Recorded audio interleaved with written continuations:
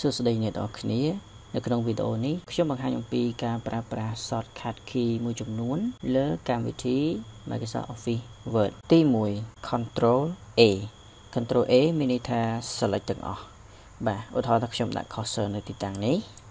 ខ្ញុំចុច Control A ជាមានន័យថាឯកសារខ្ញុំមាន11ទំព័រវានឹង select ទាំងអស់ទី2 Control B Control B មានន័យថាកំណត់អក្សរដិតហើយដើម្បីប្រើប្រាស់ Control B បានយើងត្រូវ select បាទឧទាហរណ៍ខ្ញុំចង់ដាក់អក្សរ tag នេះអក្សរដិតចឹងខ្ញុំត្រូវ select អក្សរនោះសិនមកខ្ញុំចុច Control B បាទវានឹងកំណត់អក្សរហ្នឹងជា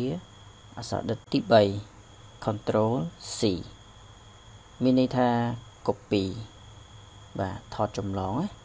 អញ្ចឹងដើម្បី copy បានយើងត្រូវ select ជាមុនសិនឧទាហរណ៍ថាខ្ញុំចង់ copy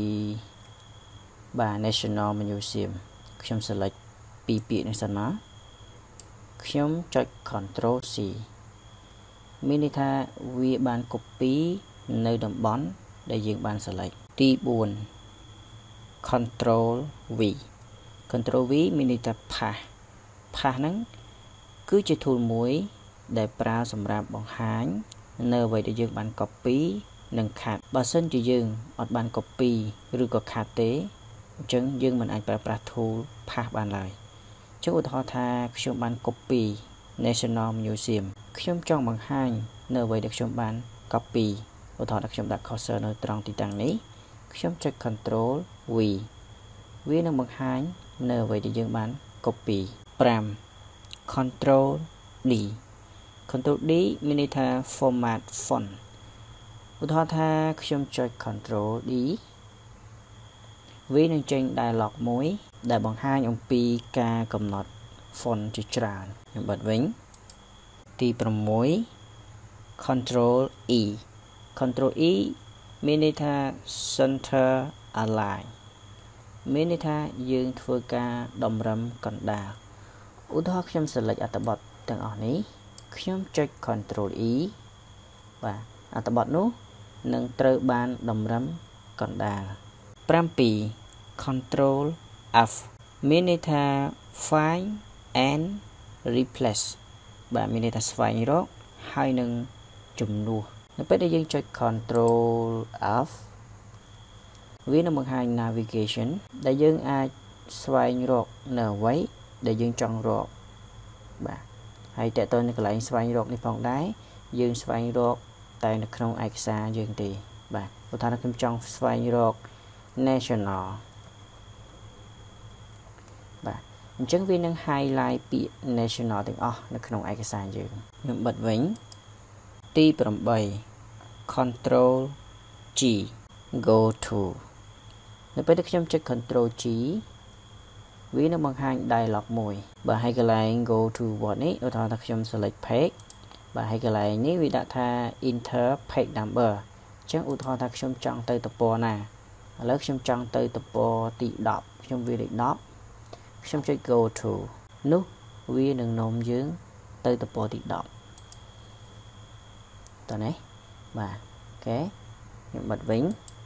ទី9 control H នៅពេលដែលយើងចុច control H វានឹងបង្ហាញផ្ទាំងមួយ ដែលយើងអាច find មាន replace មាន go to ផងដែរប៉ុន្តែយើងមើល replace អញ្ចឹងកន្លែងនេះ find what បាទវាឲ្យយើងស្វែងរកយើងចង់ស្វែងរកអីគេ ហើយកន្លែង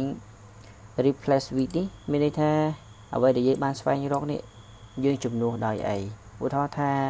national ខ្ញុំជំនួសដោយឈ្មោះខ្ញុំបាទនៅពេលដែលខ្ញុំចុច replace all វានឹងជំនួសពាក្យ national ហ្នឹងទៅជាឈ្មោះខ្ញុំវិញបាទខ្ញុំចុច replace all បាទ all done we made file replacement បាទ អញ្ចឹងវារកឃើញ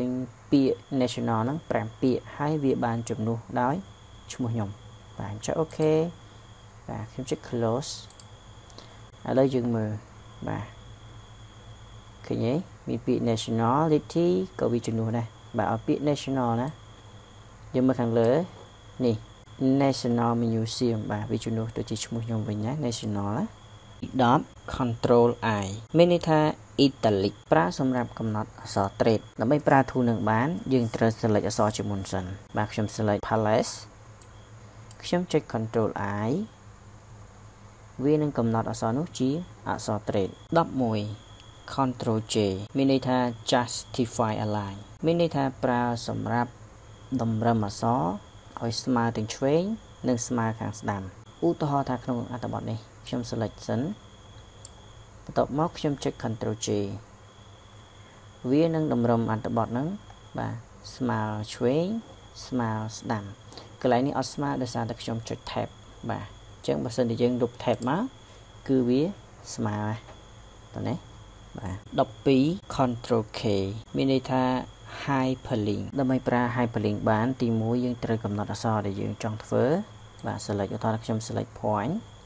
តោះមកខ្ញុំចុច Ctrl K ឧទាហរណ៍ថាខ្ញុំយកមួយនេះ info.text ហើយខ្ញុំចុច OK នៅពេលនោះយើងនឹងឃើញអក្សរដែលយើងបាន select ហ្នឹងពណ៌ខៀវហើយមានគូបន្ទាប់ពីក្រោមមានន័យថាយើងបានកំណត់ hyperlink រួចរាល់នៅពេលដែលយើងដាក់ម៉ៅនៅខាងលើហ្នឹងវាបង្ហាញទីតាំងឯកសារដែលយើងបានដាក់ link ហើយដើម្បីចុច hyperlink បាននៅក្នុង Word យើងត្រូវចូលលេខនេះសិនណាបាទយើងទៅ read mode សិនបាទវាបង្ហាញបែបនេះ អញ្ចឹងយើងអាចចុច hyperlink បាននៅពេលដែលចុចវានឹងទៅបើកឯកសារមួយទៀតឥឡូវខ្ញុំចុចបាទនោះវានឹងបើកឯកសារដែលយើងបាន បានកំណត់បិទវិញ13 control L left align មានន័យថាប្រើសម្រាប់តម្រឹមអត្ថបទខាងឆ្វេងបាទឧទាហរណ៍ថាខ្ញុំ select អត្ថបទនេះហើយខ្ញុំចុច control L បាទចឹងមានន័យថាវាតម្រឹមអត្ថបទនៅផ្នែកខាងឆ្វេង14 control M indentation មានន័យថាការចូលបន្ទាត់ហើយតើតើនឹងការចូលហ្នឹងគឺវាចូលម្ដង1.27 15 control n new បាទនៅពេលដែលយើងចុច control n វានឹងបង្កើតផ្ទាំងការងារថ្មីមួយទៀតបាទឲ្យយើង16 control o open ប្រើសម្រាប់បើកឯកសារផ្សេងទៀតបាទពេលដែលយើងចុច control o មកយើងអាចជ្រើសរើសឯកសារណាមួយដែលយើងចង់បើក ផ្សេងពីនឹងទៀតបាទអូខេ17 control p មានន័យថា print នៅពេលដែលយើងចុច control p បាទវានឹងនាំយើងទៅដល់កន្លែង print តែម្ដងអូខេបាទខ្ញុំចុច escape 18 control r មានន័យថា right align បានន័យថាតម្រឹមខាងស្ដាំឧទាហរណ៍ថាខ្ញុំ select អត្ថបទទាំងអស់នេះហើយខ្ញុំចុច control r បាទនោះវានឹងតម្រឹមអត្ថបទ បាទផ្នែកខាងស្ដាំ19 control s បាទ control s មានន័យថា save អញ្ចឹងឯកសារនេះខ្ញុំ save ម្ដងហើយនៅពេលខ្ញុំចុច control s នេះយើងមើលក្រោមនេះវា load មកហ្នឹងមានន័យថាយើងធ្វើការ save បន្តទៀតបើសិនជាឯកសារយើងអត់ទាន់ save ទេឯកសារយើងថ្មីនៅពេលដែលយើងចុច save វានឹងនាំយើងទៅកន្លែងមួយឲ្យយើងកំណត់ឈ្មោះនិងកំណត់ទីតាំងដើម្បីទុកឯកសាររបស់យើងបាទ20 control T មានន័យថា hanging indent មានន័យថាកំណត់ការចូលបន្ទាត់ក្រៅពីបន្ទាត់ទី1អញ្ចឹងក្រៅពីបន្ទាត់ទី1វាកំណត់បានទាំងអស់បាទយើង select មកយើងចុច control T បាទនោះយើងឃើញថាក្រៅពីបន្ទាត់ទី1វាចូលក្នុងទាំងអស់បាទ21 control U underline បាទដើម្បីប្រើ tool នឹងបាន យើងត្រូវ selection ហើយយើងចុច control U បាទ មានន័យថាគូសបន្ទាត់ពីក្រោមអក្សរ22 control W close មានន័យថាបិទឯកសារចឹងនៅពេលដែលយើងចុច control W វានឹងបិទឯកសារយើងតែម្ដងបាទនេះវាសួរ save out ឥឡូវយើងចុច save មកបាទវាបិទឯកសារយើងចោល23 control X cut ហ្នឹងមានន័យថាកាត់ដើម្បីប្រើ tool នេះផងដែរយើងត្រូវ select ជាមុនសិនបន្ទាប់មកយើងចុច control X នៅពេលដែលយើងចុច control X នៅតំបន់ដែលយើងបាន select នឹងត្រូវបាត់បង់បាទហើយ tool នេះផងដែរបើសិនជាយើងចង់បង្ហាញវាវិញបង្ហាញនៅអ្វីដែលយើងបានខាត់យើងត្រូវចុចចុច pass pass ហ្នឹង control V មានថាវាបង្ហាញនៅអ្វីដែលយើងបានខាត់24 control Y redo redo មានន័យថាត្រឡប់ទៅមុខបាទឧទាហរណ៍ថាពាក្យហ្នឹងពីមុនខ្ញុំលុបណាចេះនៅពេលខ្ញុំចុច control Y បាទពាក្យហ្នឹងអត់មានទេបាទ25 control Z មានន័យថា undo មានន័យថាត្រឡប់ទៅក្រោយចុះឧទាហរណ៍ថាយើងមានពី3បន្ទាត់បាទខ្ញុំផាបាទឧទាហរណ៍ថាខ្ញុំមានអត្ថបទពេលនេះអញ្ចឹងនៅពេលដែលខ្ញុំចុច control Z មានន័យថាត្រឡប់ទៅក្រោយ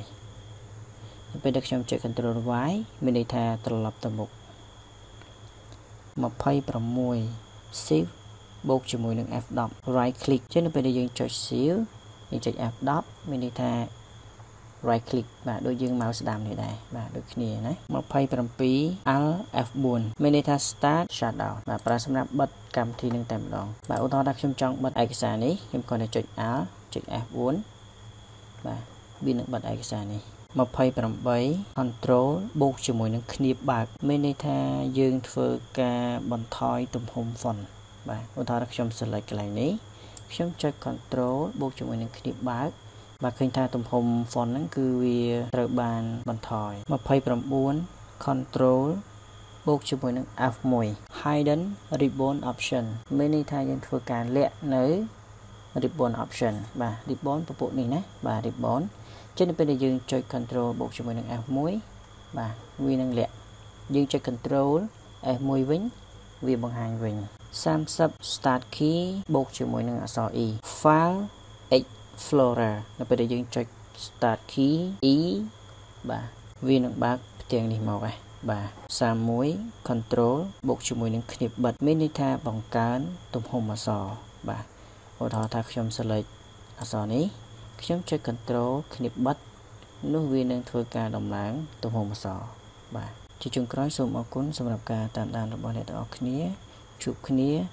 នៅវីដេអូបន្ទាប់អរគុណ